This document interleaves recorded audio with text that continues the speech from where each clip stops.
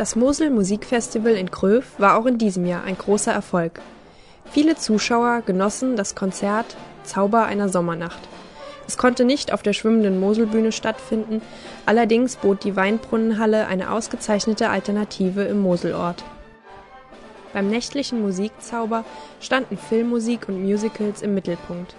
Dazu waren die Kölner Symphoniker unter der Leitung ihrer Chefdirigentin Inga Hilsberg an die Mosel gekommen. Die Zuhörer erkannten viele Melodien aus den Filmen Vom Winde verweht, Star Wars und Fluch der Karibik. Natürlich durften auch die bekannten Titel aus den Streifen Titanic und James Bond nicht fehlen. Abgerundet wurde der Abend mit Darbietungen von Sopranistin Esther Hilsberg und Tenor Rob Pitcher. Beide machten mit ihren Interpretationen von Musical-Klassikern wie dem Phantom der Oper und Evita eine gute Figur. Auch in diesem Jahr klang der Abend mit einem großen Feuerwerk über der Mosel aus